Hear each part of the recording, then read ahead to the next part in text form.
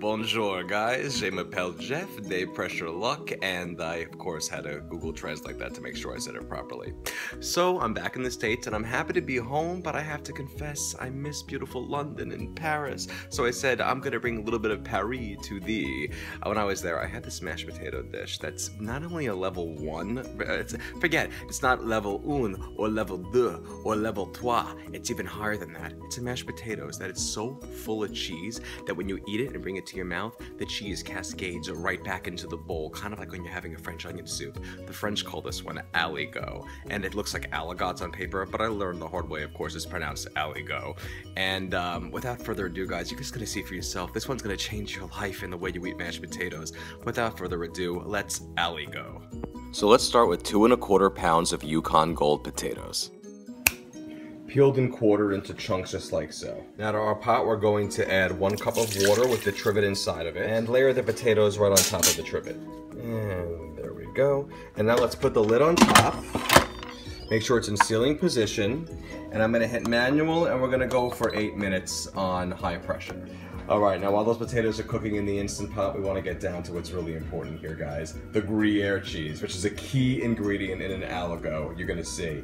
So what we wanna do is use one pound, which is about 16 ounces worth in weight, which is I have two eight ounce packages here. And what we're gonna do is we're going to uh, use a cheese grater and grate it nice and grated just like that. I gotta tell you folks, that magic snap trick with cutting and preparing things comes in super handy when it comes down to grating cheese because, well, you know, cheese grating, who likes doing that? Uh, just find a potion online, drink it, and when you do that, it'll cut things instantly. You can find it on Amazon. And to our lovely shredded Gruyere cheese, I'm also going to add a half a pound of, yes, more cheese, which is of the mozzarella variety. I'm gonna put a half a pound of that in there as well. I told you this is a really cheesy dish. Now that that's all finished, we're going to do a quick release. And it's just two minutes afterwards, our pin is dropped, so we're gonna take the lid off. And fantastic. What we're gonna do now is dump the water and we're going to remove the trivet. Now that I've removed the trivet and drained the water from the pot, I'm going to mash these potatoes in the pot and they will mash nice and easily. Ah, look at how easy. And we really want to mash them so it's kind of almost like a nice and smooth consistency. We'll get there, but just make sure it's really good. Get most of the big lumps out.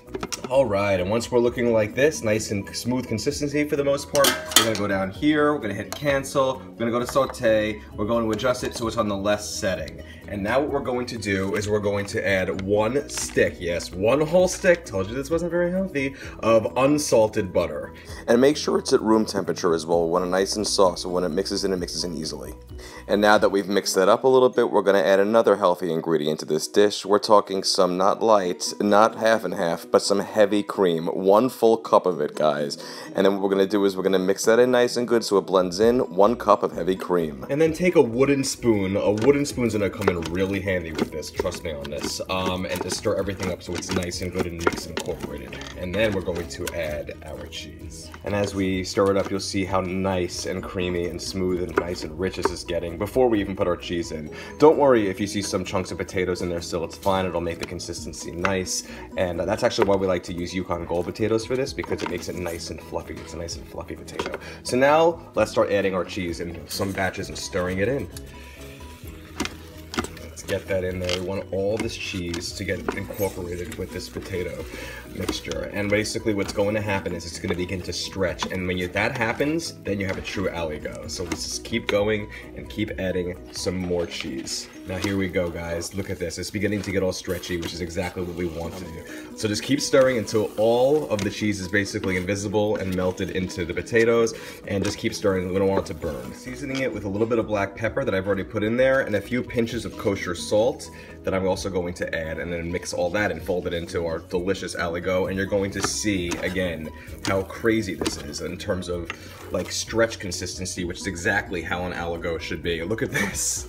Have you ever seen a creamier, cheesier mashed potato in your life? This, is basically like the taffy of the mashed potatoes. Look at how insane it is. And you the best part is it actually doesn't even stick that badly to the pot. As you can see, it kind of just pulls right away from it. But what we want to do is we want to just make sure we're stirring it nice and good for a few minutes uh, so it gets nice and heated throughout. And you can add more salt and pepper to your liking. I'm going to add a little bit more. Just do it to taste.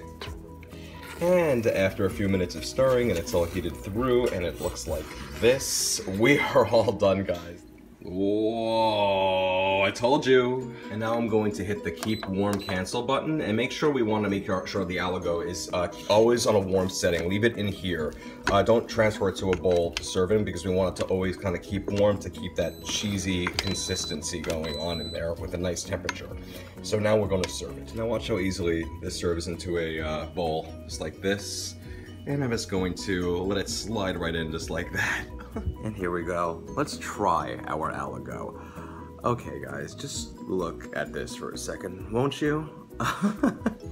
oh my lord. Let's uh let's try this and see how it goes. God, I love the French. This dish is going to complement any meat dish, any fish, or just eat it on its own. It's actually kind of like almost a marvel at how it does this. It's potatoes that are just basically overcome by cheese. The flavor is beyond comprehension, actually, and so is the consistency. Oh. Oh. Oh. All I have to say is they don't call it Aligot for nothing because you gotta go and make this right away. For more recipes like this, guys, where you see videos that are very easy to follow, very simple for the most part recipes, and really won't break the bank, um, go to Pressure Luck Cooking at Facebook.com, Facebook.com backslash Pressure Luck Cooking. I took some of France home with me, and I'm never letting it go. Um, th just one more little dish before the diet starts again, right?